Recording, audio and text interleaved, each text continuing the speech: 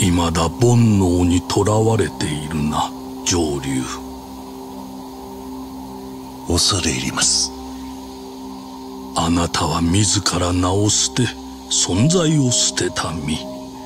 そんな男を今なお俗世間への未練に縛り付けるものは何だ？家族か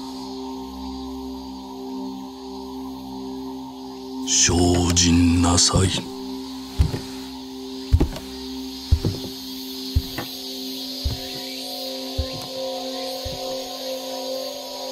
いるんだろ？さっさと出てこい。よくわかりましたね。左肩を打つ時は仕事の合図だ。ここでの生活も板についてきたようで何よりです座禅の邪魔が入らなきゃなおいいんだがな。あなたは戦後建立されたこの大道寺100人目の僧。もう少し成熟してほしいものですが。ここは大道寺一派の隠れ蓑に過ぎない。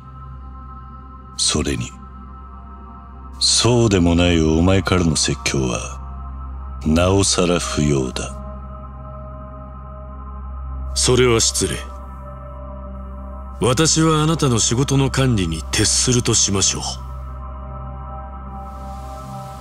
それで今回の指令はあなた好みの単純な力仕事です。ある人物を警護していただきます。詳細な資料はいつもの場所に。頼みましたよ。コードネーム上流。